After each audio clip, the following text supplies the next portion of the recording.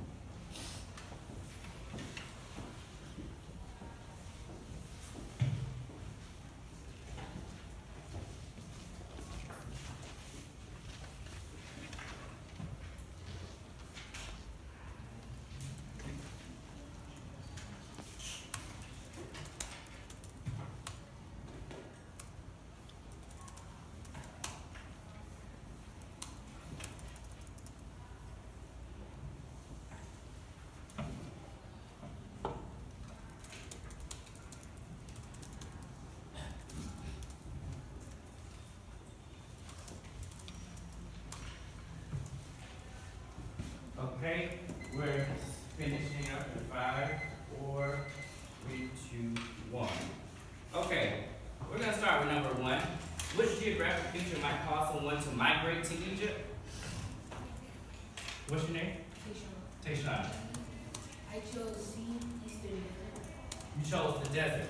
Um, why did you choose this? Why did you choose the desert? because the map doesn't show any mountains, um, and I, and I couldn't really find no river. And I, I wouldn't think, um, people would go to the Western Desert. But the Eastern Desert has many close by, um, like civilizations in it. Okay. So that's Can someone tell me what the word migrate means or what? Yes, what's your name? Joy.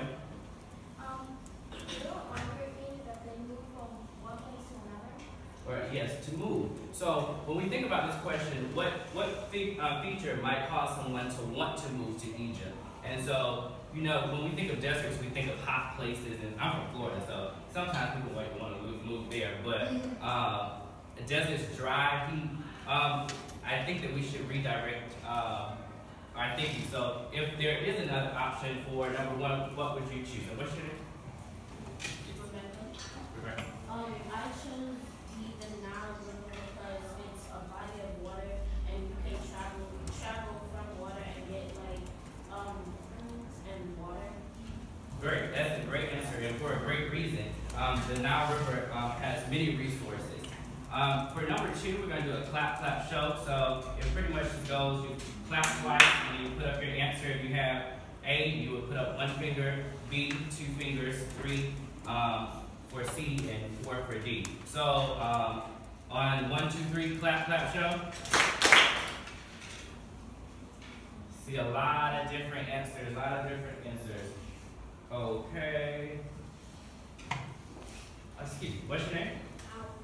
Almir, what did you choose for, uh, why did you choose tropical for number two? I choose, um, I chose tropical um, number two, but, the, map shows,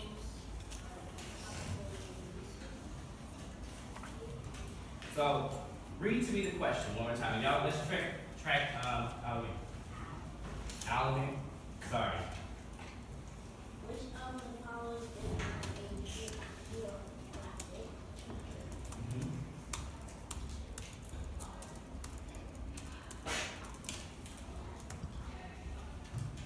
You wanna change your answer? What would you change it to?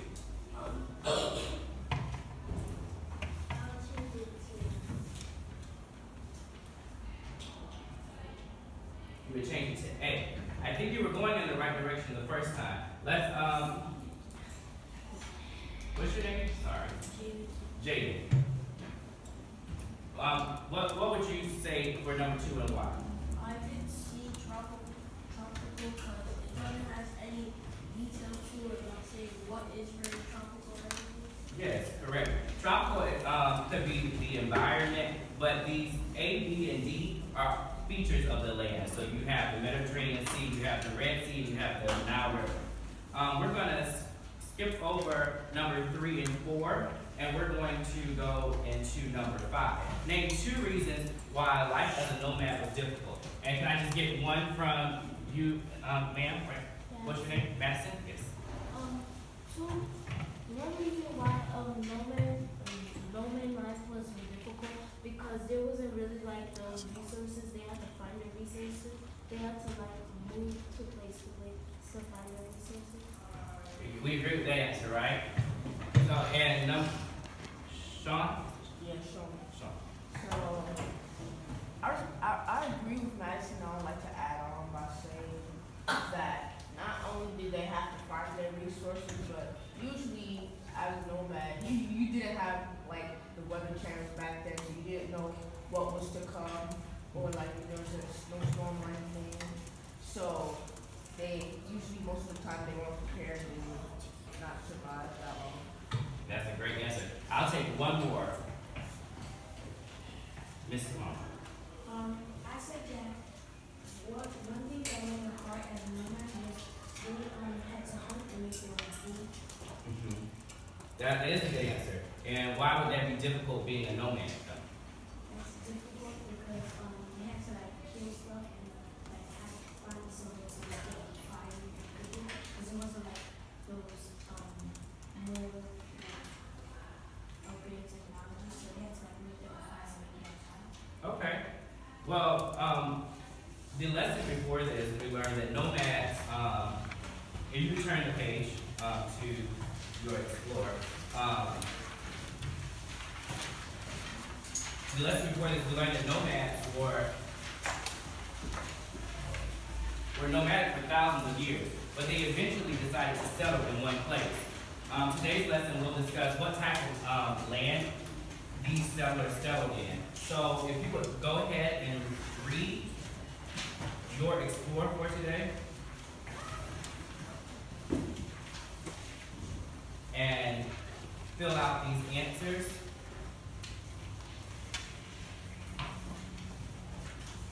We have about four minutes.